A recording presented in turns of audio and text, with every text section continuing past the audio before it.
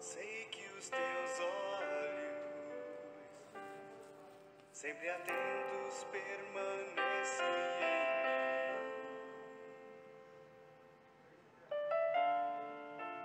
E os seus ouvidos